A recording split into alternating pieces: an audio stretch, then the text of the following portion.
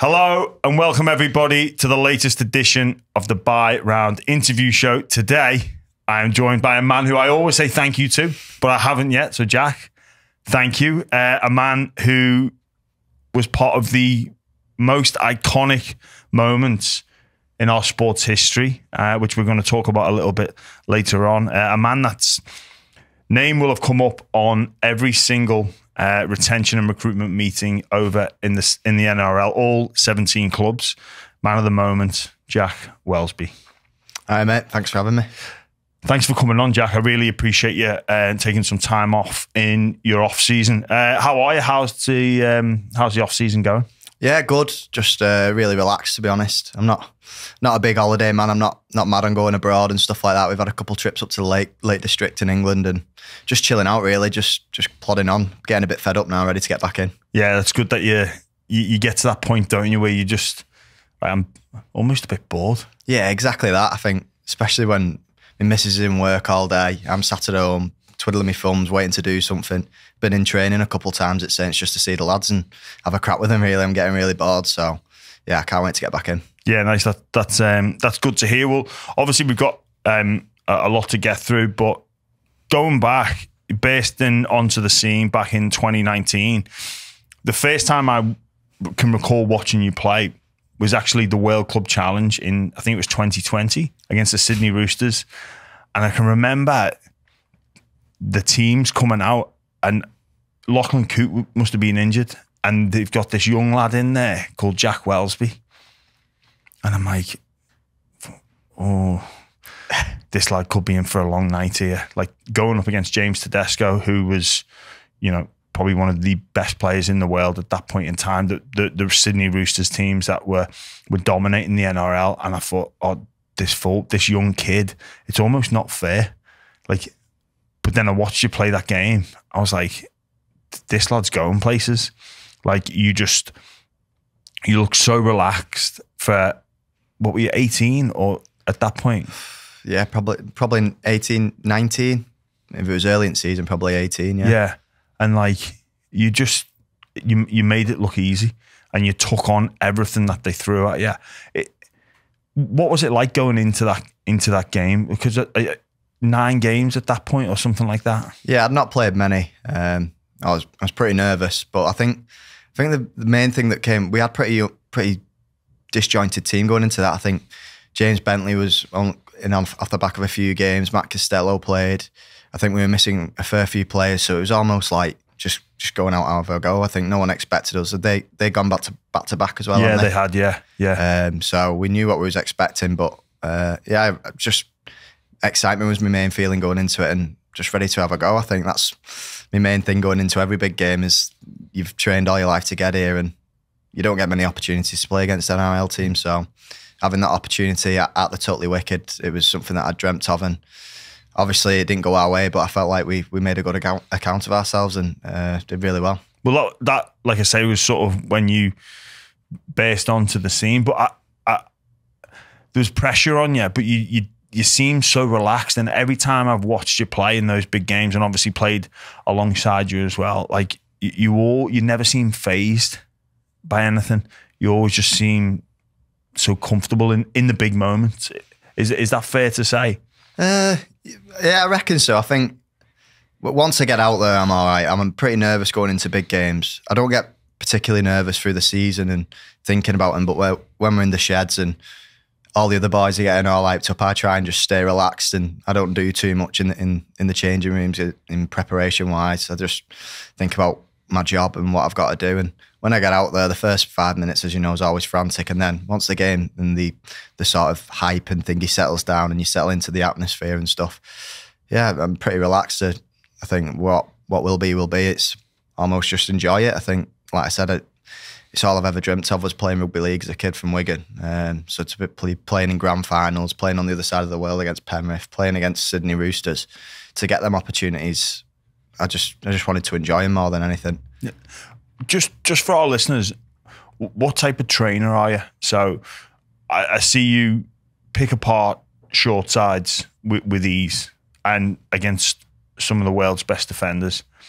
Is that you, do a lot of work going into that. Is it a lot of video, a lot of repetition with your other outside backs? How, how does Jack Welsby um, execute so well so much of the time? Um, I think I've become a better trainer. I think when I first first sort of came up, I was pretty lackadaisical. I wouldn't say I was competitive. So if you, you put us in like short, small sided games or or con drills and, and watt bike sessions and stuff like that, I was always competitive. But think oh, like in the gym and stuff, I was never really a big advocate for stuff like that. But I have got better at that side, and I just like playing rugby. I think that's that's what's Yeah. got me here. To be honest, I just if it any time that I got to play rugby through school or anything, I'd always put my hand up, whether it was year above, two years above, stuff like that. I was playing since I was four. So, um, yeah, I think it's just more the enjoyment side in training. I think when we do do 13 v 13 and stuff, I'm ultra competitive and I like I like to try things. I'm I'm not scared of throwing a four, 40 meter pass in training. And if you're doing it in training, you're more likely to do it in a game. Yeah, it it always fascinates me people with ability like you, and to watch you like do those or, or you can almost see the cogs going over in your brain about like how something might work and how you might be able to pull something off. And if they jam, then this is what I'm going to try and I, I want to try. It's like almost like a game of chess over on those short sides, and it, it- it's fascinating to watch people like you sort of work on ideas in training and then obviously see them come to come to fruition on game day. Yeah, no, I think it's sometimes in a game when you get in, especially at fullback or six, sometimes if you end up at the back and you know someone's going to jam, the first first couple times I'll, I'll think, right, come, I want you to jam me if you get me fair enough. And then I know I know they're going to come because if they get the first one right, they're more than likely going to do it the second time. So it's to be fair, I've had, I've had a lot of help with Jonny Lomax as well, and then Lachlan Coote, and I got to watch Ben Barba do it. Well, got it done to me by Ben Barba in training when I was playing centres. So um, yeah, I've had a lot of good people to look up to and, and sort of pick things. But uh, I think the the biggest thing I always think is you just got to have a short memory as well because there's, there's times in the game and it won't get shown on the highlight reel. is that I've caught a ball, I've thrown it, it's gone over Tommy Makin's Tommy's head and it's gone into touch. And then the next one I'll do the same and it'll hit him on chest and he'll put it down. Do you know what I mean? So it's it's one of them. It's like you can have a lot of good things and a lot of poor things, but if it's coming off, it's it looks nice. I- i- Is that something that you're you're conscious of? It's like uh, um, forget, move on, because there was a generation of players that when they made mistakes would go into their shell, and it would it would put them off, or they would be gun shy on taking that next opportunity. So is that is that something that you're consciously aware of, or is that just who you are as a person? Um, yeah, probably who I am as a person, and I think I've got a lot of confidence in my team as well. I think if we're in good ball and I, I throw a poor pass and we lose the ball, I'm pretty confident they're not making 100 meters and scoring. Whereas if it was doing it in my own 10, then it's a bit different, in it? But if I'm doing it in good ball or in sort of that yellow zone in between, I'm pretty confident that Morgan Knowles, Matty Lees, them type of players are, are going to back me up and, and going to protect me. They'll come up to me if I throw something poorly and, and say, don't worry, we've got you, we'll, we'll cover you. And, and then you've got James Roby in there as well. It's He's always calm as well. So, yeah, I don't really think about what's gone wrong. I just think about what's next. it's it's an incredible group mindset that like all right jack we're going to trust you to do your thing. We see you working on these ideas of training we accept it's not always going to come off but we need to encourage you to try that pass. But and if it doesn't come off you know what? We've got your back. But not all teams work like that. Is that something that you guys at, at, st helens uh, again is that something that you you work on as a team or you talk about in training? Uh, we don't particularly talk about it. I think it's just sort of un- underlying in in the likes of Morgan Knowles, Matty Lees, James Roby. They just want to do their job well, and they know I've got to do my job. If if they're defending set set for set and staying in the grind, I've got to come up with a play, or or Johnny's got to come up with a play. Lewis Dodd's got to come up with a play. I think that's the sort of way we've done it, and I think this season particularly we probably come up a bit short as a halves group in some some scenarios. I think think back to the semi final against Leigh when we when we got beat, we we trounced them really with without the ball. Um, Morgan Knowles, Matty Lees were going after him, keeping them in their, their own forty pretty much the whole game, and we couldn't ice our opportunities, and they did.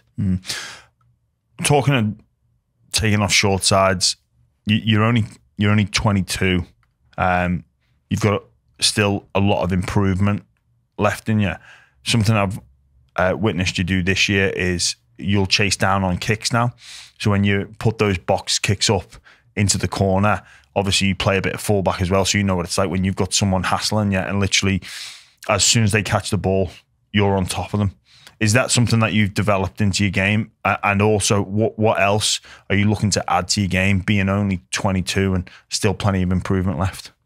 Yeah, obviously that that kick chase sort of thing, um, especially when we've been defending really well. I think it's the least I can do for for my middles. I think mm. a lot of the time I'm stood at the back watching, uh, pointing, shouting at him, telling him where to go. And I think if I can go and land on that first one, it sort of gives them that 10 metre rest. And then sometimes you see, especially Matty Lees, comes flying through and makes that tackle five times out of 10. Um, so I'm thinking if, he, if he's managing to find the energy to do something like that, I've got to be able to do it. Um, so yeah, and then improvement wise, I think I think defensively I've come on leaps and bounds this year, especially especially in our goal line. I think I've got no better mentor than Paul Wellens, my head coach, who is probably England's greatest ever fullback. Um, and he, he's he's always on my back. All right, you can stop stop now.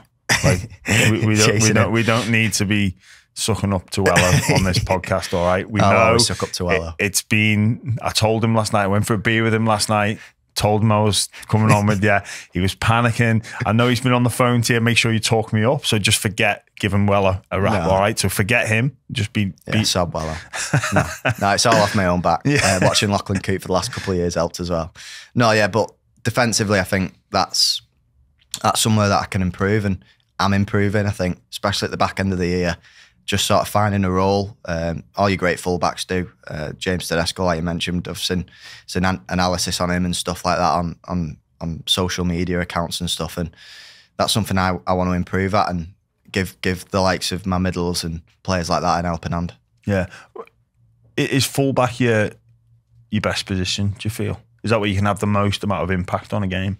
Um, I always say fullback and six are pretty similar now, especially the way we play at St Helens. I think Jonny Lomax is a very similar player to me in, in a lot of ways. He's got got a similar skill set to me as well. Um, I reckon the main difference is one catches high kicks and one, one makes loads of tackles on a big back rower. And I'm not too fussed either way which one I do. I think six or six or one, I'm I'm pretty comfortable. Mm, well, speaking of impact on games, um, the 2020 grand final you played in the centres that day because you know going back a little bit to to to talk about why you're in the centres. You you were so good, and you got your opportunity through injury and misfortune. But then you were so good, you you demanded a place in that team.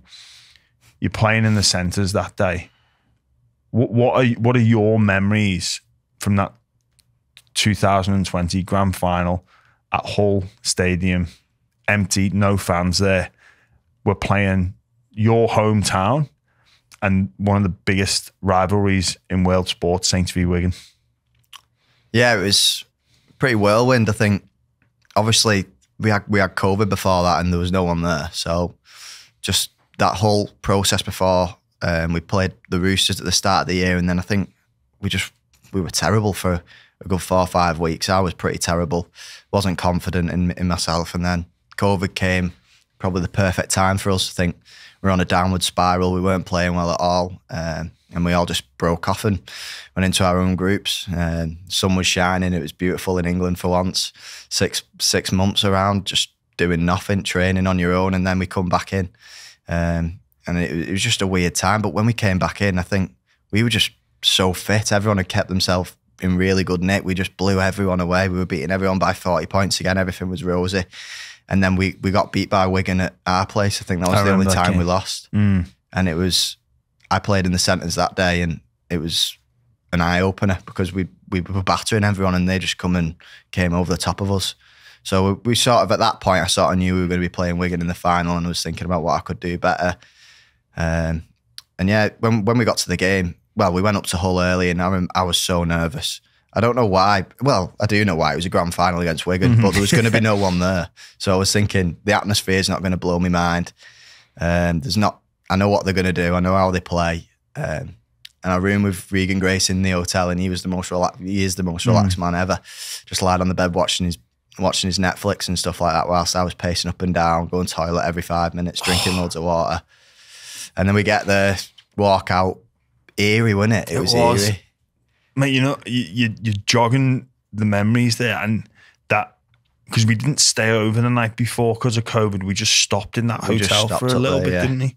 Yeah, yeah. We just went up and little village hotel and all. We always stay there, but there was no one in the hotel either, was there? No. Usually when we go up to all, there's people like yeah, yeah. knocking about and that, asking for a couple signatures and stuff, and it was just like couldn't even go for a coffee. I don't think Starbucks was open or anything. It was it was completely strange. And like we got there and walked out, nothing, no noise, A couple of fireworks, but like hmm. eerie. We stood there, we lined up. You took the first carry. I always remember because. the ball came down. I can't remember who passed you the ball, but it came out and there's like six people flying out you, and you just found your front. And then we were into it, weren't we? Hmm. And it just went like that, rapid. Next thing I know, I'm chasing Tommy's kick and putting it down. I couldn't tell you any other details than that. Oh, re- really? Is that Yeah. Is that it? So you remember the very beginning Yeah, and the very end? And then there's a pit like at the very start of the game, we were again we were we were on top and we were just on their line all game and then they went up the other end and we held them up over that line. And I remember thinking, We're on here, we're on, we're gonna hmm. win this. And it, the, the further it got in, the closer it was, I think. I don't know, yeah.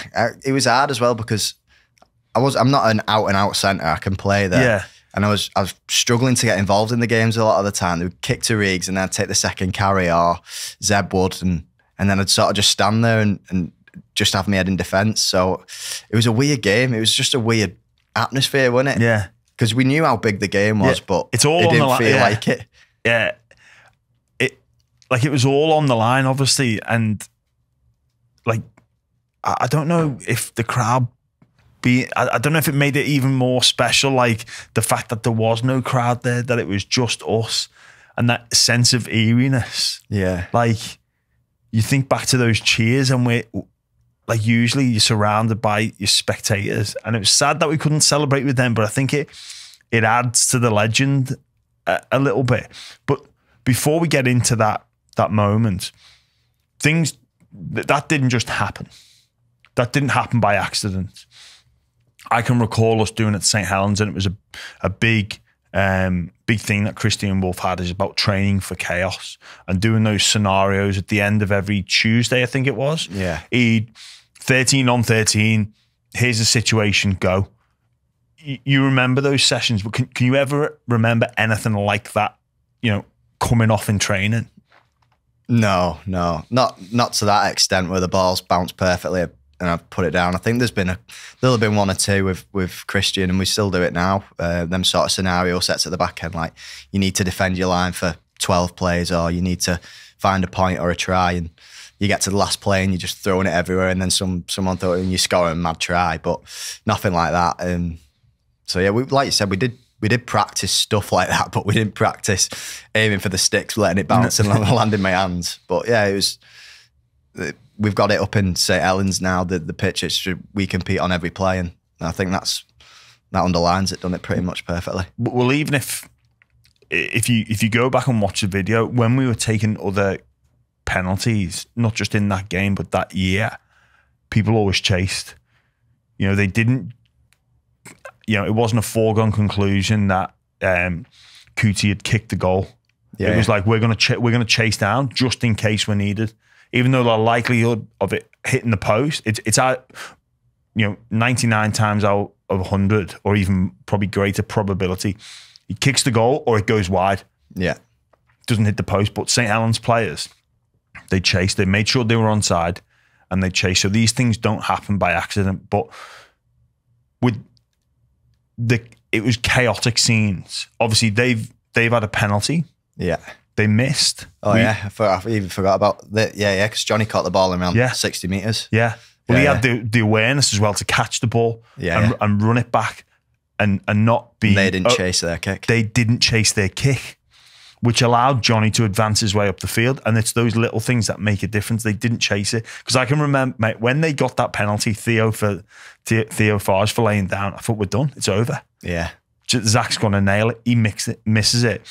But then, right, for you now in that situation, Tommy Makinson, he wasn't your side, was he? no, He was- was my winger. He he was the other side. So Yeah. he so our our right wingers come in to take the shot.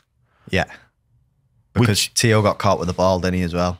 Yeah. Because Theo's our main he was our seven when he'd he'd have probably demanded this is my kick, and it was that chaotic. Tommy's just come in and gone right. I'll do it because Tio got caught the play before. Yeah. But you've got you've got to have the presence of mind not to first stay on side, right? Which is quite a difficult thing to do in a field goal situation because they tend to stand a lot deeper. yeah, It, were, were you actually looking at where Tommy was, where Tommy was, and even knowing that Tommy was going to take the shot? yeah. Well, it was it was a different. Like I said, it was a different atmosphere. So I could you could physically hear him screaming, "I want the ball." So I knew to line up with him because there was no one else there. The- He was the only one shouting, and there was a bit of mumbling, but there was no real noise, so you could properly hear him screaming. Um, so I just knew I had to be online with Tommy because he was getting the ball. Ah, right. I didn't. Uh, yeah, yeah. You could. You, Yeah. you could. You could hear everything. Usually in a grand finals situation, you won't be able to. If you're Couldn't on the left centre and the- right winger's calling for the ball, you won't be able to hear it. But he was screaming that loud. I knew to to line up with Tommy, and he was. It was pretty obvious if he was watching the play that he was getting the ball. There was no blockers or anything. yeah. He was just stood there waiting. Well, you know what happens in the next sort of what? Not even ten seconds. Did Did you know as well that Tommy ran off thinking he's yeah, got I've, it? se- I've seen like a clip from like behind the sticks of him and Al running off, and then they sort of pause and like put their head in their hands, and then I put it down and they sort of like, has he got it? And then they start running when everyone else runs in. So yeah, it's, Mate, it was carnage. it, it mate, if I say this uh, about that moment, if a Holly group of Hollywood scriptwriters were around, and they that's the story that what happened, they put it in a story, they throw it in the shredder. It's too, it's it's too much of a fairy tale with all the the subplots around COVID, no crowd. Oh no, the field goal it hits the post, it bounces. All right, St. Helens left centre chases and scores. Like no, the field the field goal. Well, uh, let's fuck that off. Let's just have the f- Tommy Makinson's drop goal goes over. Yeah. that, that's enough. Yeah, perfect. Perfect. I'd have been happy with that. Well, everyone. well, we just needed to win, didn't we? Yeah. we needed to win. I'm glad you got that moment off Tommy. Yeah. because we would Oh. never have heard the end of it. Like, I know. that, imagine how much that boot would have been worth. Yeah. If he'd I know. if he'd have hit that. That'd have been framed at Totally Wicked Stadium, like signed. Like this is the boot. yeah, he'd have had a picture holding it and everything. Yeah. Tommy. He still claims it's his assist. It, well, it's the best try assist Ever. of all time. Yeah, that's if I didn't do that kick from 40 metres out and hit the post, you'd have never scored. So he still reminds me of that. And I let him have that. You know, he's happy with that. Yeah. Um, you know that that moment will be replay, replayed forever. For as long as our sport exists, grand finals in 100 years, I reckon, will, will, will show that moment about what's possible. Is that something that, obviously, when it happened, you weren't aware of, but is that something that, like, now you you sort of look at and, like, give yourself a little bit of a pat on the back or, or makes you, does it invoke any sort of emotion? Oh, it's nice to see and stuff like that. I think um, it's just such a. It's almost like a blur in it. I think it's so weird because the whole year was just so strange, and that topped it off. That was the weirdest bit of the lot. I think. I think it was maybe last week at some point it came up, and Super League were three years ago today, and then next year Mm. Yeah. it'll be four Yeah, years yeah, ago, five years ago. It'll always because it's sort of. The best thing about it is it's sort of in that it's in the off season now because we played Yeah. in November. Yeah. So there's nothing ever going on. So they are that they, oh, they've got something to post now. Yeah. So everyone's going to Yeah. see it every year now. Well, Oh, I mate. think they would anyway. Like, but that they've got a definite reason to to retweet it now. Mm. Well, mate, it, like I, I was a Saints fan from a kid, and I don't know if you'd be old enough to remember, but I'm sure you would have seen it. The wide to west moment. Yeah, Like, I'm I'm getting goosebumps thinking about wide to west. But I was there as a fan, and I I, I could never imagine anything being better than that. no, and and and it was. It it it it, it told it for me. It's one of the the greatest moments in sport. Obviously, I'm biased because I was playing in the team, but yeah, it- it was it was- mad, wasn't it? Yeah, it's even difficult to put into words. Really, yeah, even when like I look back at it now, sometimes I just think like there's so many variables in it as well. The way the ball bounces, unbelievable, perfect. And like Bevan, like Bevan French is not thinking, oh, it's going to hit the post and drop down. You can see the panic in him when it when it hits the put, it's the bar, and then bounces completely over the bar, bounces to the left the way I'm running. I was thinking like I was in dreamland when it did, and I knew instantly that had scored instantly and 100%. And then I remember looking up at the screen, I knew I was on side, everything. Everyone else is panicking. Did you get it? Did you get it? yeah, I got it. I got it. I know I did. Uh, did it was just mad. W- were you aware of where the sideline was, where or the in goal was as well? Because uh, that was my bit of a worry. I was like, hang on, is his is his boot going to be like a lazy boot over the sideline? Just I felt like I'd when I watch it now, I sort of like slide near and get closer and closer every time. But I felt like when I did it, I'd sort of like jumped and put it down. Yeah. But I hadn't. So when I seen that I was sliding on the re replay, I was thinking, oh, oh, oh. And then I, I was fine after the first replay. I knew, I knew I got it. I was just trying to stay calm. I think another mad thing was like when, like, that was my first grand final. So was that your first grand final? Oh, yeah, of course. So I didn't know like, well, we won it in 2019 as well. So I'd, I'd been on the pitch at the end of a game, but I hadn't played. And there's that many people on the pitch at the end of a grand final. When we won, there was just us lot and the Wigan players. And then like Jenna Brooks weren't even allowed on the pitch. She was stood at the side, like ushering people over.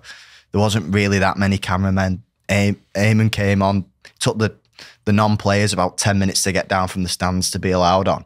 I think that sort of like just being together, we was all, I got hugged about a thousand times in five minutes. It was just, it was just weird, wasn't it? But yeah, it was best memory I've got in, in the game so far. Well, the best memory that you've got in the game so far, I'm just going to put it to you square. You, will never have another moment like that. No, it's it's it's almost impossible to top. No, brilliant. It was, yeah, it is. We had a close one at Penrith this year that, but for me personally. It, the, the, we're going to talk about that win against Penrith, but which is obviously an amazing moment, but like, absolutely in, incredible. And then what a, what I think, obviously, I'm talking about that moment, and a lot of people would forgive you for, and the club, and the, not just you, but and the club as well, for like, oh, give themselves a pat on the back. We're going to dine out on this for years, but St. Helens don't and you don't. Did you feel like you were hungry for more success after that? Yeah, 100%. I enjoyed myself for a good couple of weeks. Uh, and then I sort of got back down to earth and started thinking, well, I'm still, I was 19, so I was still young.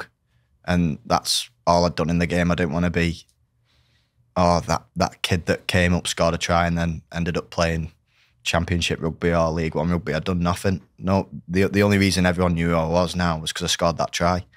So my, my main thing was, I want to I want to play every game next year. I want to push people. I want to be pushing for. I want to give Saints hard choices. I want Wolfie to be thinking, ah, I don't know, I'm not going to fit him in the team and stuff like that. Um, so yeah, I just wanted to kick on um, and just just do the best I could.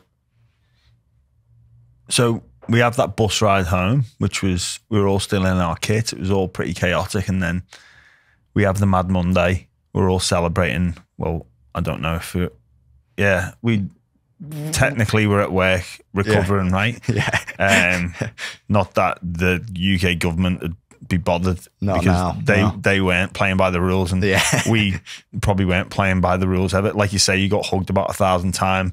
I'd, Yeah. I'd I'd take COVID and I'd pass it to all my bloody relatives as well. I didn't give a shit. I was all over you like a rash. What about all the fines we got as well? We got not for the grand final, but like in the Oh. year.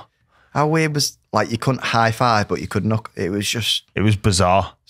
Was it like that in the NRL as well? I, I think, I, you know what, mate? I can't remember.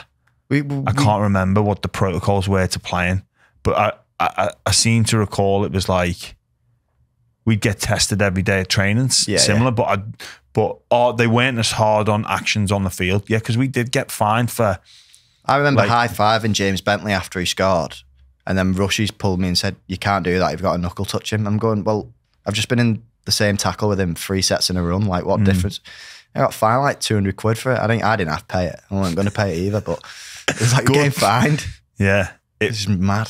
it it was. Um, it was a fucking bizarre period of our lives. Yeah. but Good period though. good period. And then like the, the celebrations continued long into the night. Then we had the presentation on the Wednesday night. We went to the Griffin before. Yeah, it. that's that was good timing as well. That the Griffin had sort Yeah. of like opened back up, and we they give us a big long table, didn't Well, they? we we organised like thirty tables for one yeah, because you you could go to the pub, but you could only go to the pub with your own household. But we could go, and if you happened to be there, you happened to be there. So we organised. I think it was like twenty five tables for one with a substantial meal, and I can remember being like, "Oh, we've got to be." We've got to be careful here, like Yeah, you know, like because that, that was the first, the Wednesday after the grand final was the first day of things opening back up. yeah, And like, you know, everyone was keen. There was loads of families in the Griffin. And I was like, oh, we need to keep a lid on things here. And then basically after like four pints, it's like we were in the away end. Anyone that would have Yeah, came in was like, what the fuck is going on in there? That, and that's where we were celebrating. Then we went back to the club for our presentation.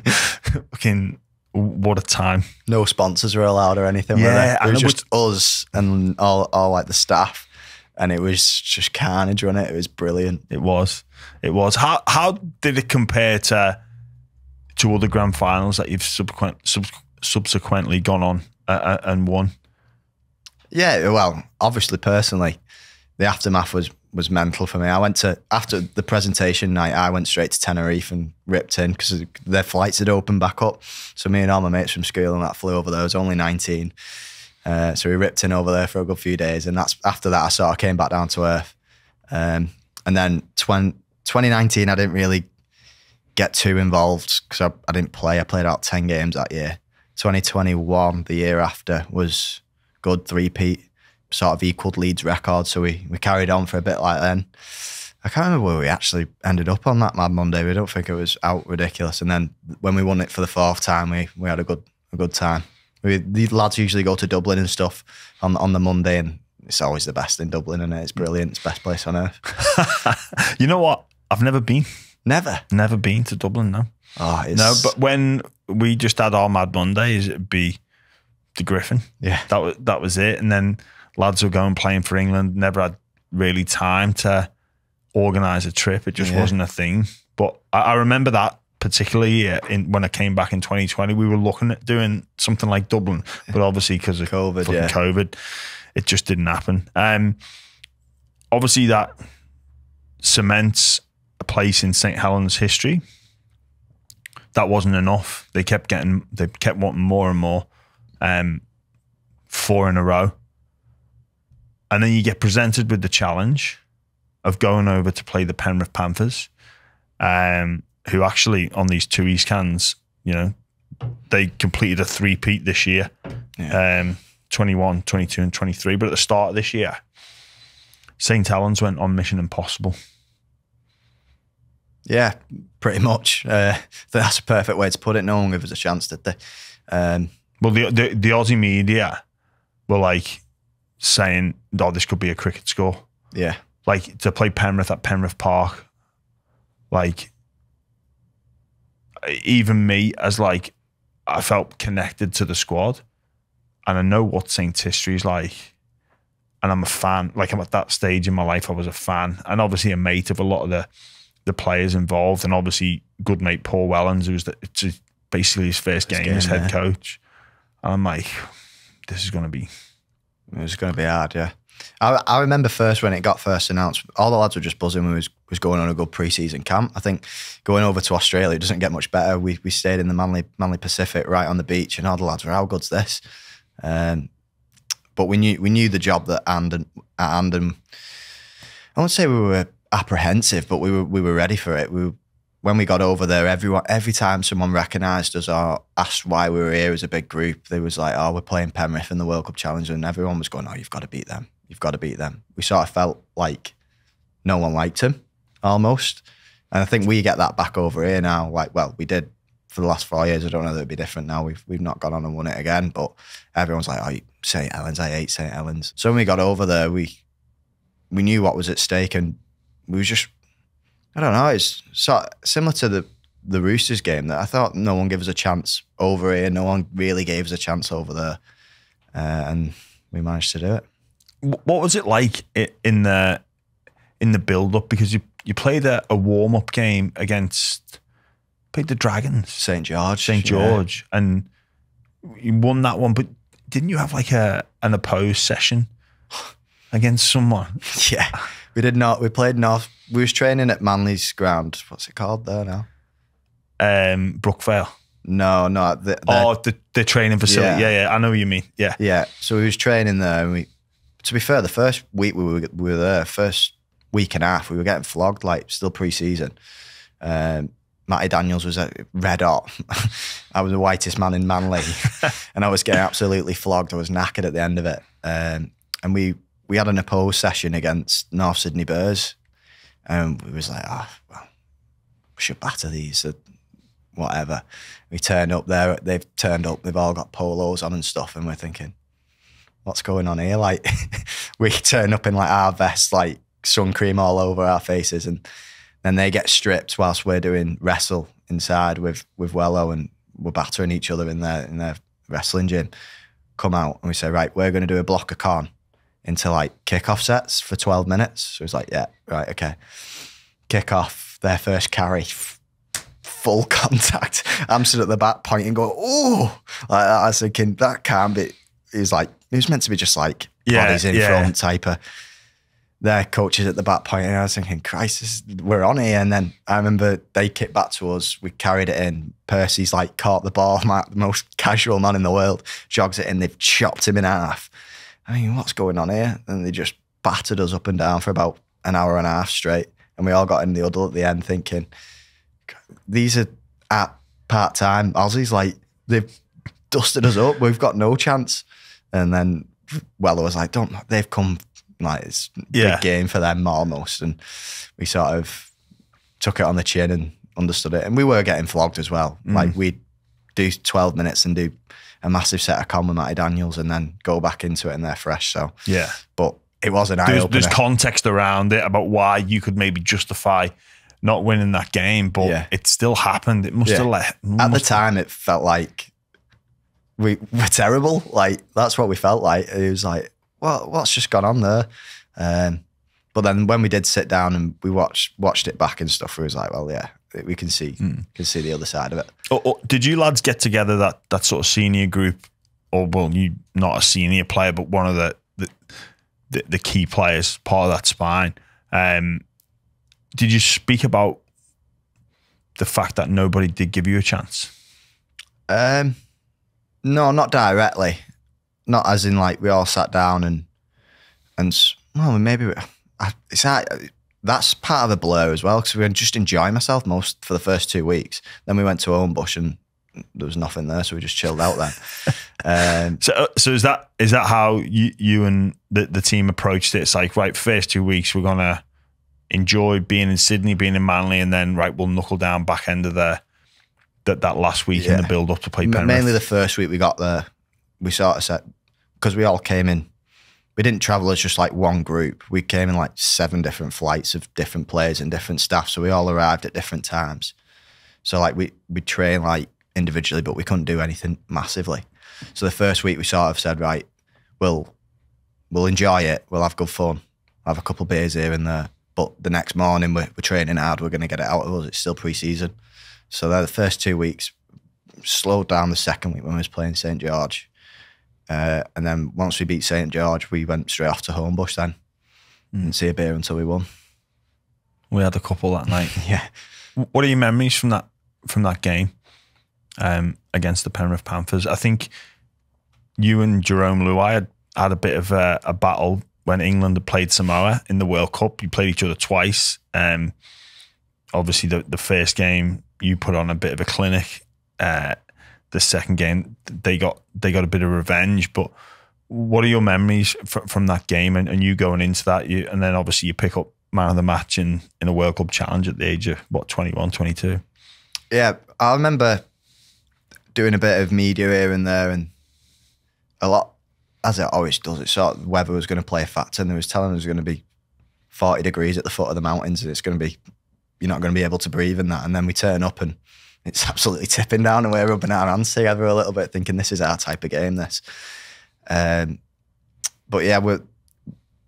I don't know. Probably a bit nervous. Obviously, um, was one of the first thoughts. Um, backs against the wall type thing. Sort of thinking no one's gives us a chance that we've spoken about. Um, wanting to prove a point, um, wanting to win it as well. Like we didn't want to just go there and make a good account of ourselves. We believed in ourselves as much as they probably did, and we thought, well, I knew quite a lot of their players from playing against Samoa and knew some things that they're going to come and throw at us, and I knew they were big and strong, but I, I knew we were big and strong as well. So I was quietly confident going into the game, um, and it, it showed when we got out there. Yeah. Well, I, I think I'd, I'd, said to a, a few of you lads after that game, I think in St. Helens 150 year history, it's the greatest achievement.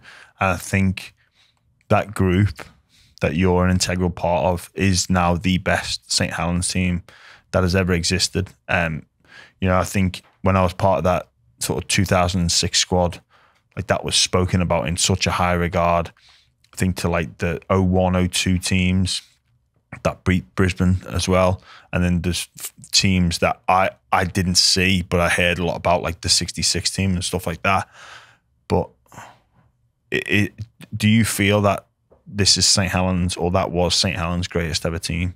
And by winning that, you you cemented yourself in in the club's history as the best ever. Um, yeah. I, to be fair, I was I was pretty young in 2006, so I can't remember the style of rugby or anything like that. I just know the accolades of, of what they won, and there's going to be arguments for each each case, isn't there? But I think we're one of, if not the best, best St Helens groups that we've had, and I think the way we've won everything over a four year period. There's a throw a Challenge Cup in there, throw a League Leaders Shield in there, four Grand Finals, a World Cup Challenge. I think it's hard to argue now. I think I think that was a, a big motivating factor that if we do this, that there's no arguing anymore. Yeah, well, for everything. Yeah, it's it. It's done. As far as I'm concerned, and look, the the 06 team was in the mix, and I was a part of that. But I think this group that that you're at the forefront of certainly is. We're going to take a quick break from this podcast to talk to you about AG1. Now, this is a product I've been taking for over a year now, and I absolutely love it. It gives me all of my daily nutritional needs in one easy drink.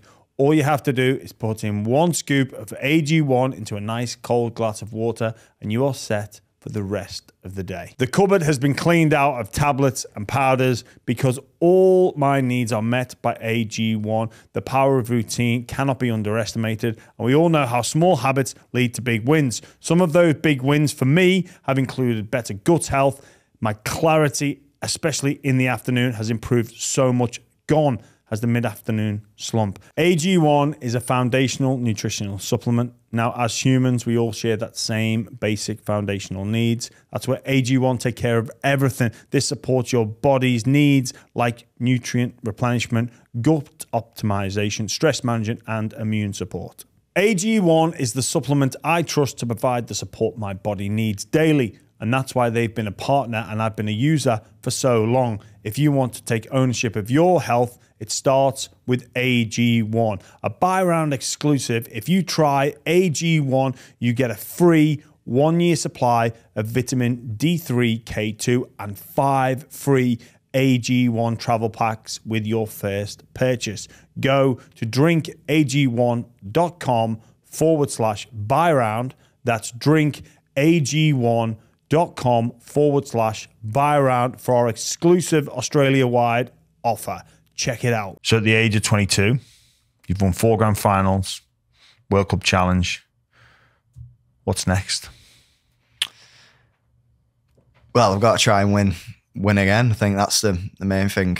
Um, I think obviously the year just gone. We after the the triumph in, in Penrith, I think we sort of let ourselves down in in a lot of ways. I think um, there was a lot of talk about James Roby finishing, Louie McCarthy, who are who are two big parts of our team, two you know better than I do. Well, they're massive parts of our team, and we didn't want to sort of send them out on a sour note, and I think we did that. Um, so it's sort of about putting a couple things right this year and and moving forward with it. I, I think to be fair though, let me just pull you up on that.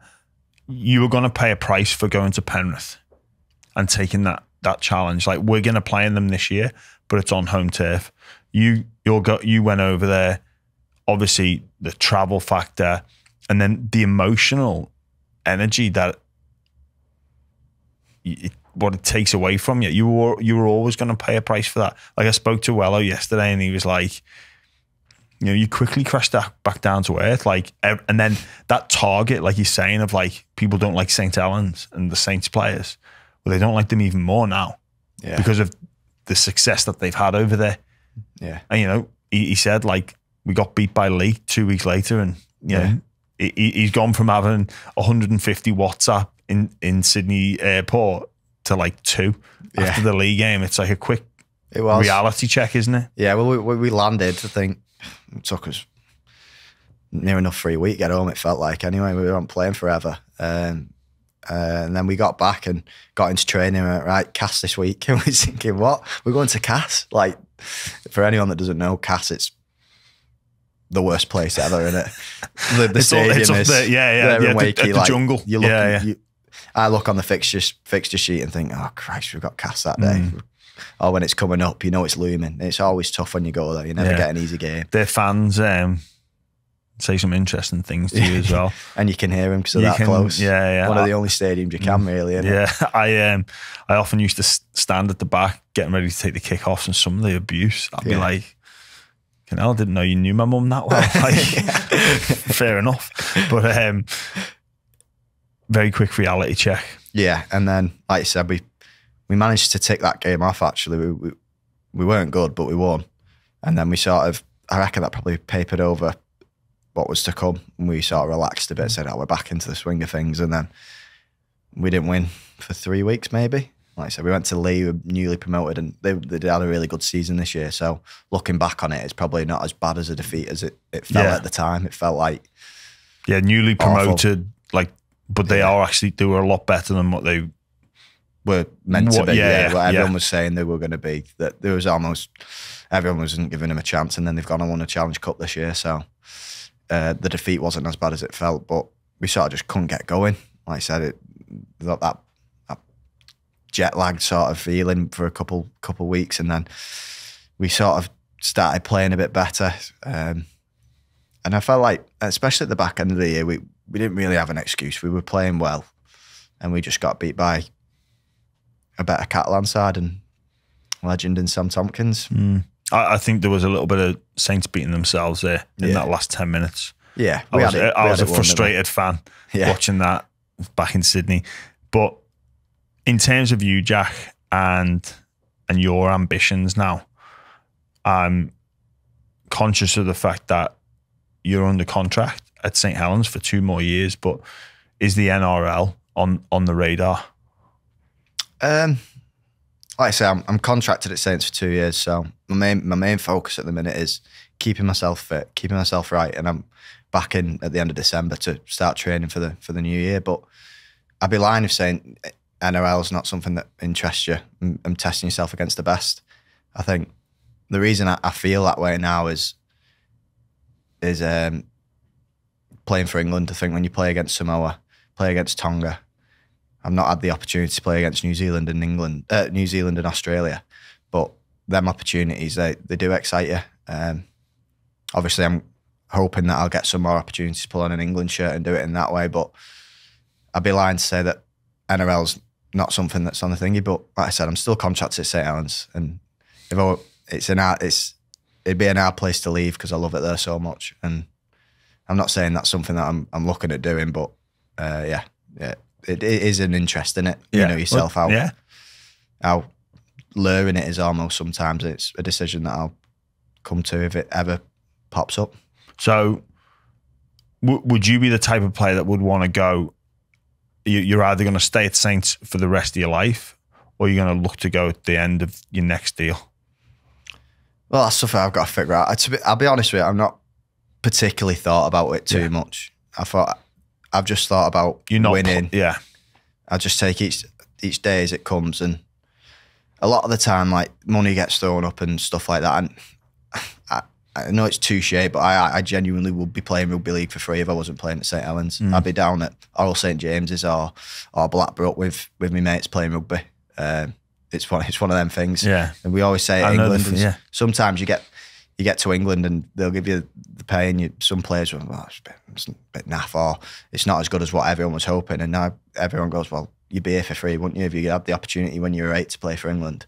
So it's a bit touche, but I just want to be happy. I want my family to be happy. I want my mum and dad, my girlfriend, just to be happy and enjoy enjoy me playing rugby. They get they got a lot of coming watching me play at St Helens. It's Friday night out, going meeting friends, seeing seeing people they like, and it's there's a lot more than just money and, and myself that go into it. Mm. And to be fair, like, and I give a lot of credit to St. Helens because of the environment that they've created and the club that they've built. It's a hard place to leave. Yeah, yeah, hundred percent. I've got all my best mates there. We're all we are all genuinely best Yeah. mates, and sometimes that's that's cliche as well. That clubs are best mates, but we've not we we've not got no dickheads, not one dickhead. Most clubs will have someone that's L- Louie. Well, he's not out, there Louie not anymore. there anymore, is he? So Exactly. So we're Yeah. fine. Um, yeah. So it's hard. All, everyone gets along really well. Like, we've got a good. Can't wait to see everyone tomorrow at the party when we go to Robes's. So his retirement day should be good fun and stuff like that. We just have. Yeah, m- my missus loves going watching the games just to speak to everyone. So Yeah, well, it becomes you, you become part of the family there, don't you? Yeah. Like that was that was hard when when when, that, when I was faced with the decision about whether to actually go over to the NRL. Yeah, I had this I had this ambition for from like a you know 14, 15 year old to want to go. But then the reality of it is, it's like I'm leaving this great club and I'm leaving my best mates behind here yeah, like it wasn't wasn't easy. And players that have come through with like you, like you've come through with a crop of people there, and you know this law of the NRL and the you know the bright lights over there and all the hype and all the expectation and pressure. Because no doubt, I know you'd go over there and you'd kill it. Hmm. If you go to the right club, you you you'd kill it over there. But it's it's not as simple as that. yeah.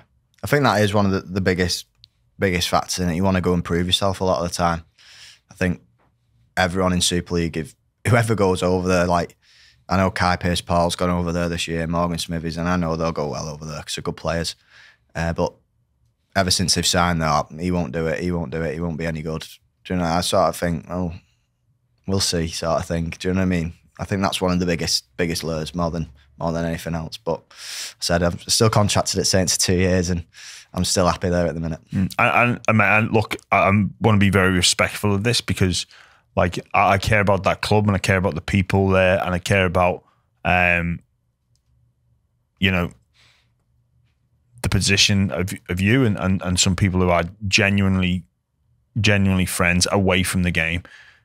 But are you aware that you know, probably about halfway through this year, you're gonna have an offer come from St Helens and you're gonna you, you are gonna have to probably make a decision. It- You're not you're not gonna wait until a year, Saints aren't gonna wait for a, you have a year left on your contract and you can go to the market. They're probably they're probably going to be tabling a substantial offer to play to put in a really long term deal hmm. for you at sort of like June July time. Oh well, well, when it comes round, it comes round, and I'll, I'll face it then. Um, like I say, I'm just, I mentioned it then. I, I just love playing rugby, and I love playing at St Helens at the minute. I think I couldn't, I've never envisaged, envisaged myself anywhere else, and the less I think about it, the, the easier it is. I, I, I, know, I know what you're saying, but because you don't want it to become a distraction. yeah, yeah. and you don't want it to you don't want it to be the narrative around for for the next sort of well two years. Like where you know you've been you've been spoken about oh i don't know if you're aware of it but you've been spoken about over there for a long time now. There's yourself lewis dodd another st helens player plenty of other you know up and coming you know smith at wigan. Like they're dying for half they, they're crying out for quality halfbacks.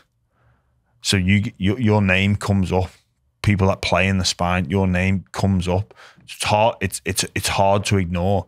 And I guess you, you don't want it to be a distraction for two years. So it, it's a part of you, even perhaps thinking like, no, let's go and get a deal done with Saints now. And you know, you, you've played over hundred games at St Helens already at the age of twenty two. Like part of that law to stay could be James Roby, who we're all like, we're going to be celebrating tomorrow night. That you could go past him potentially. Yeah. Like yeah, at the age of 22, if you pushed it, if you do the maths and do some sums, Yeah. Yeah. I think one thing I, I do get conscious of is like when it does, when you'll get a, a post on Twitter about something about Jack Welsby NRL or, or thing, I don't want, I want, not only do I not want it to be a distraction for myself, I don't want it to be a distraction for my teammates. yeah, I know what, when I see something come out about someone else, I think, oh, well, is he all in? Is he, is he going to go to the edge of the cliff with me and jump off when we need to? I want to, I want him, I don't want my teammates to be questioning me because the way I see it for the next two years at St. Helens, I'm all in. I'm, I'll No put my matter body on the line. No Yeah. matter what's going on behind the scenes, whatever's going on personally for me, my career and stuff, I, I'm going to go to the, I'm going to go to the barracks. I'm going to go in. I'm, I'm ready for war sort of thing. And I don't want it to be a distraction for everyone else and thinking about, oh, well, my fullback is when we're in here walking, going through captain's run or in the sheds in the game, where's his mind at? My mind's solely on winning another grand final, a Challenge Cup, and a, a League Leader Shield. yeah, it's a it's an important attitude to have, and I, I back you all the way with that because I I'm blown away by how mature you are for for 22. There's no way I'm sat across there speaking to someone like me at, at, at the age of 22. I'd be shit myself, wondering what I've said wrong or anything like that. Aside from St Helens, you've got England. Um, fantastic 3 0 victory over Tonga. England haven't beaten Australia since 2006. There's not an active player now that was part of that squad. They've all all that squad is retired. Roby was the last one. What can you and that England team go on and achieve? You've got a World Cup. Uh, oh, sorry, you've got an Ashes series in Australia, 25, and then a World Cup in 26. What can you get? What what realistically can you do? What's the aim? Yeah, no, it's it's a really exciting time. I think um, for for us. I think with Wayne and what he's building as as an England coach is pretty special. I think I think we've got every every chance of going on and doing something really special. And I don't say that light-heartedly either. I genuinely believe it. Obviously, more times I'd say you can't just go in and go, "Oh yeah, we've got no chance." But I genuinely, genuinely, with, with all my heart, believe that we we can test test the best of the best. I think.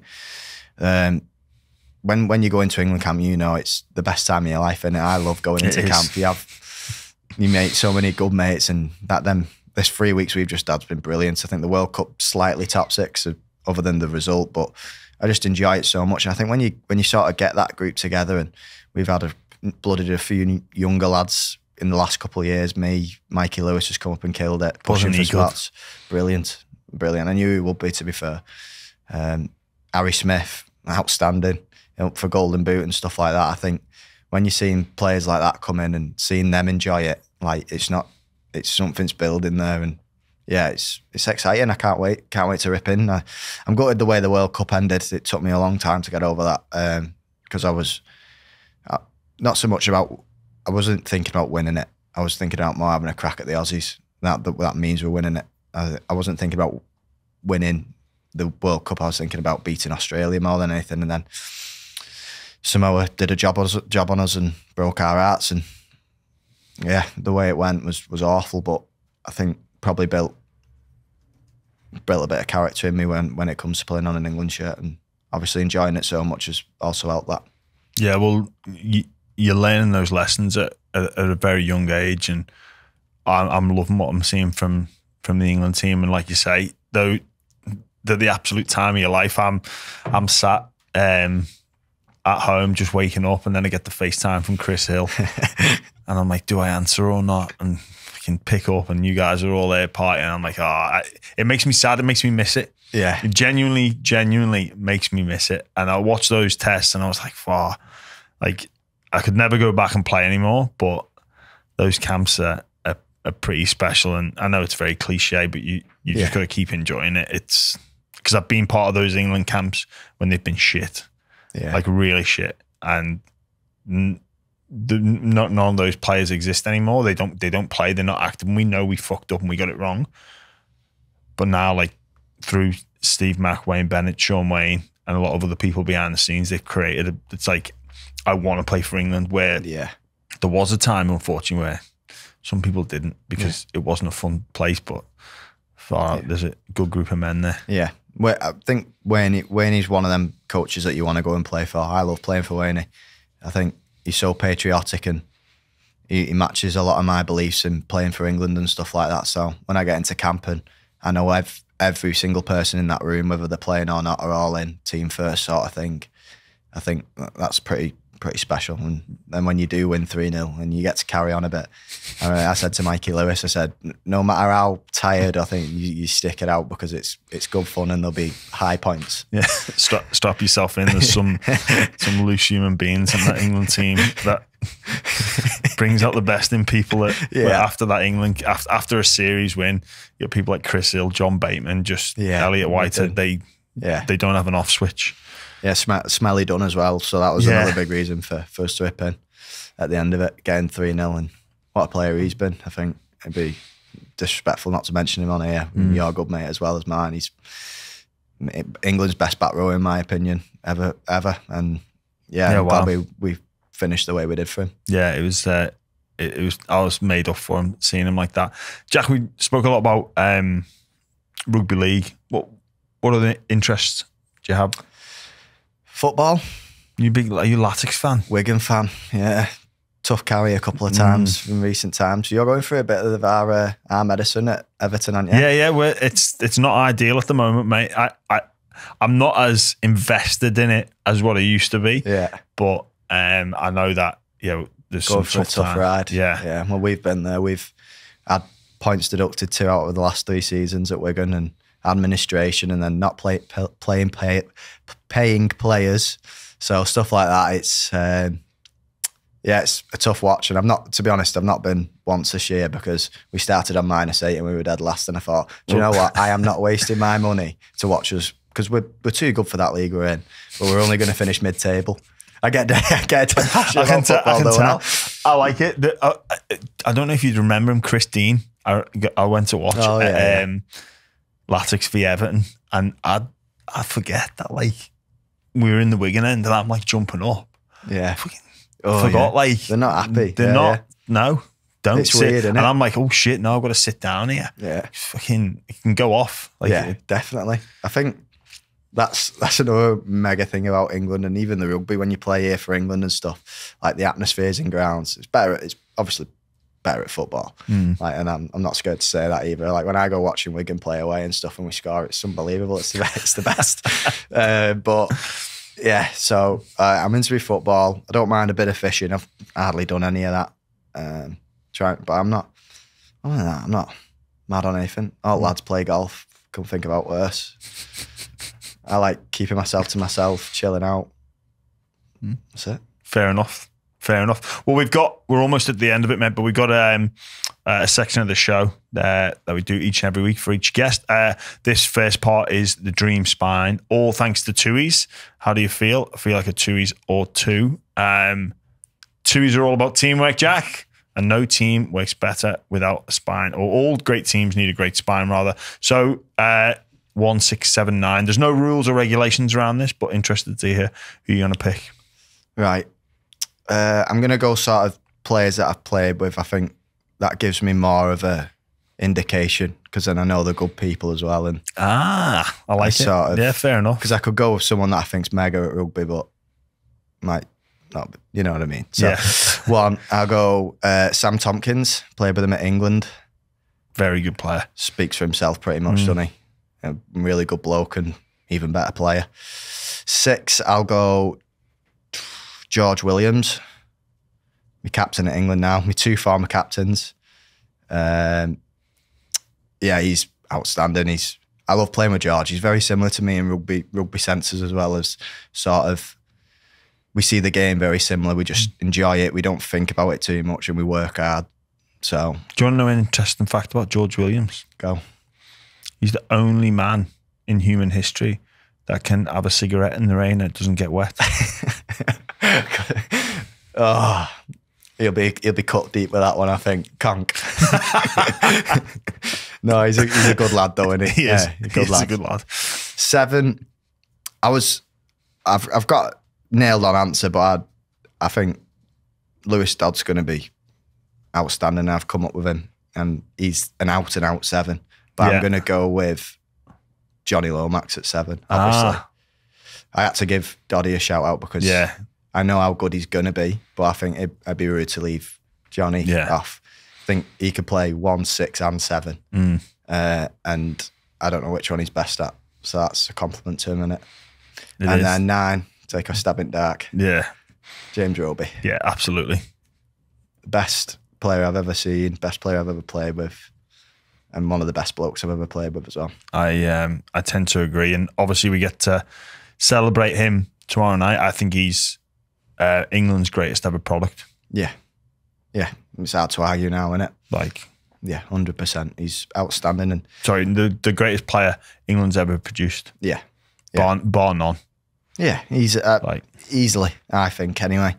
Um, and I've obviously played quite a lot of games with him, and he sort of, I sort of hung on to his coattails when I was coming up and going for coffees with him, and uh, him and Louie and, and Kyle sort of took me under the wing, and I'm growing really close to him. And uh, yeah, I love him as a person as well as a player. that's it. That's it. He's hard not to love him. He is. Everyone He- loves. yeah, everyone loves him. Yeah, Everyone loves him. Um, well, thanks for that, Jack. Uh, the dream spine. So we got Sam Tomkins, George Williams, Jonny Lomax, and James Roby. yeah. It's a great spine, all thanks to Tooheys. How do you feel? Feel like a Tooheys or two? Hey, just by the way, you mentioned uh, about George Williams being your captain. You stepped in in his absence. How how was that for you? Oh yeah, amazing. Um, something I didn't expect, obviously. Um, going in, I knew George was banned. Well, I knew he was banned for one game, and then we appealed and got two games. uh, so yeah, Cheers. yeah, you're Cheers, welcome, R- George. Did, don't, didn't the RFL ban him for an yeah, extra game? Yeah, he got they're banned against at it- us. Appealed it, and then went, "You're getting banned for two because it's a frivolous, frivolous appeal or something." I was thinking. So he got banned one game. They appealed it and banned him again because it was no case to answer. So I don't know. I don't know the ins and outs of it, but yeah. So he got banned for two games. Why would the RFL Uh, yeah, ban their own captain for the two opening tests against Tonga? yeah. I, I know. I sort of thought, well, I can understand banish. You got you got to follow follow the rules and stuff, but whether it's frivolous or not, should just said just leave it for one. But anyway, yes, it gave me the opportunity to be captain, which is good. So instead of two, instead of one, I got two. Um, and yeah, Wane, he just sort of said, dead straightforward as he is. Yeah, you're captain. Um, just play your game, enjoy it. And yeah, I didn't feel so much as as a captain, and I sort of did and I didn't because I had people like John Bateman, Elliott Whitehead, Victor Radley, Tom Burgess, Morgan Knowles, Matty Lees, who I all I look up to as players for the positions they play and how how tough they play and the sort of captain sense they have, sort of. Hmm. But I tried tried my best. I think I did all right. A couple of speeches here and there. I saw I saw you like getting the boys together and yeah, not laying down the law, but just being direct with them. yeah, It's a tough thing to do at 22, like you say, to to speak to people like like Tom Burgess, like Johnny Bateman, Elliott Whitehead, like Yeah. But I also was ultra confident in doing that because I knew if I missed something or they didn't agree with something, they'd sort of like be on the back of it. Yeah. But it was nice when I did do it and none of them jumped in. And I felt like, yeah, I must have nailed that one. a couple of swear words, a couple too many swear words and a bit of emotion. But uh, yeah, no, it was, it was brilliant. And then standing at the front of the line leading the national anthem, it's, you know how good it is. It's brilliant. it is to, to walk out to, to be first out Yeah. with the England badge on. Yeah, it doesn't get any better looking up and Pretty pretty special. Sing the anthem, look up. family. Yeah. perfect. And then that first test was tough, and, and we got over the line. And then it sort of second game, horrible conditions, but still Oh. special. That was At Huddersfield on a football pitch, it's like you, you won't have it in Australia, but it's like rock hard football pitch, and all the water just sits on top of it. Hmm. So the skill level was below par. but that you you got to find a way to win. Yeah, and we did. Um, we played. We were perfect in all three games, more or less. I think the first game was the toughest, and then so, sort of everyone sort of settled and thought, oh, I find that you get that a lot when you play against like teams like like Tonga, and when you go to Penrith, you sort of naturally because of how big the, the sport is over in Australia, we put all them on a pedestal and like hmm. the the better than us almost type of thing, and that's a mentality that all Super League fans sort of have. I think is that oh we've got no chance. Saints got no chance. England have got no chance. Tonga will batter him. Samoa will batter him. Australia, New Zealand, and then when you play them, they're just humans. They've got two arms, two legs, and a brain and a heart, and you've got to just rip in and just play rugby like you've done all your life. That's the way I go into them games as well.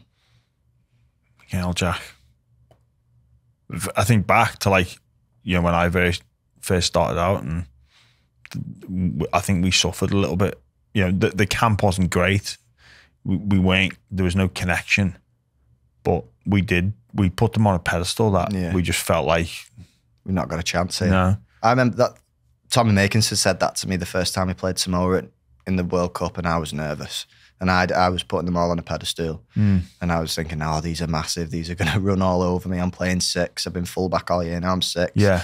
I'm going to have to tackle whoever's at back row." Thinking Jarome Luai, like you said, and then he said, "Oh, man, only same as you. He got same legs. He might be a bit bigger, but he's got legs. He's got arms. He's got an heart. You're going to have to tackle him." And I thought, "Oh yeah, that, that's that's true." Yeah, And we went out and battered him. you did. And then we got battered. Well, not battered, but it was turned over. heartbreaking that with Cr- Crichton getting that field goal. Yeah, yeah. Still, still don't like thinking about it. It was horrible because we sh- like felt like we, the way we played all tournament, we deserved a crack at, at the Aussies in the world in the final at Old Trafford. Oh mate, don't I? I was devastated for you. Yeah, awful. but you'll get that chance again. It's just sad that obviously that group, well, you know, and you'll you'll turn over players and you'll be part of that. But it's important that you keep going. What what's being built there, Yeah, be Yeah. because you will get a chance, but you won't have Whitehead there. Like you know, you you you next World Cup, you'll think about those lads that you wish they were there, but they're not. Yeah. It's a new group now. Um, but I, I'm I'm excited for you, and with that atti- that attitude and that mindset is vital. It's not oh Nathan Cleary, Yeah. like You've, you can't- amazing player, Yeah. like will probably be a future immortal in Australia, but Yeah, you know, and we're not have like we. It's not like denying that we all know they're good players. Mm. yeah, but yeah, if if you go into the game saying he's better than me, he's gonna be better than you. yeah. You've got to think, I'm the main dog. I'm going to be the best player, Mm. and everyone's got to have that attitude. Else Yeah. miles off, I reckon. I can remember, I'm not going to name who it was, playing against Australia. And one of the lads going over and like getting someone to like, sa- one of the, I think it was Greg Inglis, or can you sign my boot? Like, you fucking joking me? what are you doing? No, that's not for me. Like, no. I don't mind a, sh- a shirt, Shirt swap. swap. yeah, but you don't need to be getting fucking Yeah, your boot, a pair of boots signed. must have been for a testimonial. well, yeah, that's probably what, like, but it's just, yeah, at the end of the game, it's like, it's a bit, yeah, Like it just showing it, that again, it reinforced that them on that. message of pedestal because you weren't asking any of the England lads for a pair of signed boots, no, yeah, exactly. and That. it's subconscious message. Oh, fucking hell, he's Yeah. over there, fucking And he must have thought about that before the game a hundred percent. Like he's yeah, to go and get him done. That's what would have pissed me off more Yeah. than him actually doing it. If he'd have seen him upstairs and gone, oh, do you know what? I might, get, Yeah. I might be able to go, all right, okay. Or he's had a beer with him. Mm. But when he's subconsciously thought, at the end of the game, I'm going to take my boot off and I'm going to get him to sign it. Odd. yeah, um, yeah. We got three questions left, which we do for each and every guest. Uh, if rugby didn't exist, or footy as I call it now, being in Oz, uh, what do you think you'd be doing? Um, I'd like to say I'd be playing for Wigan Athletic, but I doubt it with my two left feet. Uh, I'd probably just be on be on site grafting, if I'm honest. Yeah, I wouldn't be in any. I'm not. I'm not stupid. I'm, I could do school, but I hated it. I'd have just gone out of school, gone doing an apprenticeship, and found found a, found a trade and played Saturday Saturday league football and Sunday league rugby. how good. I love that, Jack. That just says a, a, a lot. Yeah, It it really does. Um, a sliding doors moment that you you think about if the alternative would have happened. Probably the 2020 grand final. If that kick goes over Hardaker's and I don't get that opportunity to score, would we? We'd have never done the four in a row. We'd have never. I might not have kicked on how I might have kicked on. Uh, stuff like that. Just so yeah, probably that 2020 grand final. Well, thank. Yeah. Lucky stars. Thank you. I don't know. I don't know what to think, but well, thank you. Like I always say, thank you for chasing that because it was the most, the most important day of my life, it's and I, I'll forever be grateful for you for doing that, um, and that club for bringing me back. It was just perfect, wasn't it? Yeah. was. And you, you're so lucky that I'm not saying like, but a lot of people don't get that fairy tale ending, and you did. You got it perfect. Mate, I I think of like lockers that played in that game, Sam Tomkins grand final Mm. this year, and like like I spoke about James Roby retiring Mm. this year, is like obviously he didn't want all the attention on him, Mm. but subconsciously it was, and we wanted to give him the the fairy tale ending. And a lot of the time for the year, we were sort of talking and going, yeah, but well, we'll just be us. We'll do this. This is us. This is us. And like Wello sort of lost his cool with it and went, well, can we f- that off? Like this will happen. Fairy tales are all good in hindsight, but you've got to make it happen. And a lot of people don't get that fairy tale mm. ending. Oh, mate, for well, for me as well. Like you, you, might have been be a bit young to remember, but you know the hard, the heartbreak of losing five in a row, Oh yeah. and then I lost a couple over there as well for the dogs. It was like this is a shit, shit occasion. This grand final. I hate it. that fucking yeah. You got And there then- at the end. So yeah, that mate, that sliding doors moment. It's something I think about. That like, what if I'd have lost, or what if we'd have lost? I know. Like if that kick goes over, where like where where would my head be at for the next month after that? Like I, I struggled retiring anyway. Yeah. But if I'd have gone out on that note, fucking God knows where I'd be. Um, most interesting person that you've met? Um, uh, I've met him, but like I've not had like a proper conversation. I'd probably go Ant Middleton from the SAS who does Aye. wins. We met him. He came in and did a sort of uh, shirt presentation for us for the Samoa game, and like I didn't sit down and talk to him for a long time, but he, his his speech was about uh, being at war and and some of the things he had to go through, uh, and I thought like the different side of world and different side of life that he's seen sort of puts into perspective like how lucky I am to be playing rugby league and not fighting for me. Well, I was fighting for my country in hindsight, but not in, not in the same vein sort the, of thing. The stakes aren't Yeah. aren't as high. yeah, exactly. Yeah. So he was his speech. I was ready to play there, and then I think all lads were. Mm. It's pretty cool. it, it, it it's been a, a noticeable trait that of the English rugby league team, the the connection to the forces. Yeah, yeah. And Wane is big on that as well. We do a lot of things with that. Yeah, We've been to um, Burton and been in laid reefs and listened to stories, and then Ant Middleton and stuff like that coming in. Yeah, it's it's massive. I think yeah, it is. It it sort of makes you appreciate what you've got what we get to do.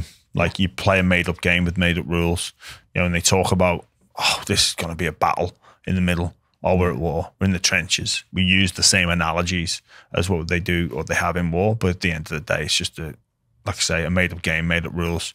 We all go well. Most of the time, most people go home with Yeah, a couple mad. of uh, sore shoulders, wake up a bit stiff.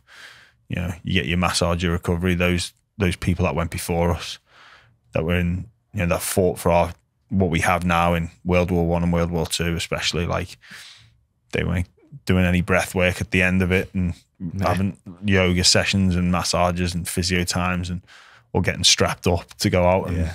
they You just got on with it, didn't they? they sure did.